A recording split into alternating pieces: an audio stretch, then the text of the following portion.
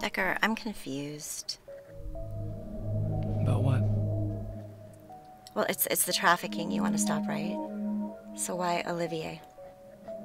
People take other people and sell them as slaves because there's a large demand for it.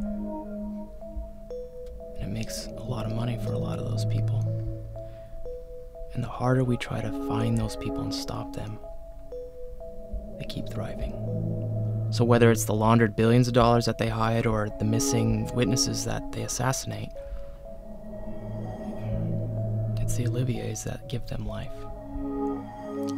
And uh, Miss Espinosa, she's an international financier. How is she leading us to Olivier? Well, in case you haven't gathered, trafficking is illegal. So the people that do it need to hide their money somewhere, and she, Sasha Espinosa, is the best in the business at it. Okay, well, how much longer here? Because as far as I'm concerned, this is a waste of time. I mean, it- there's got to be a way we can figure out something else at this point. Ellie, trust me. What you know and what I can find out are two completely different things. Okay, you know what? This is ridiculous. Hey, I don't.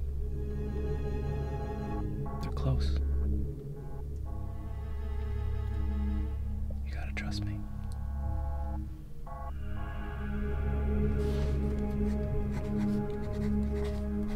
Okay, you know what? This is ridiculous. I don't even know why we're sitting here and wasting our time with it. Call Robbie, tell her to go. Meet me at that address. Olivier?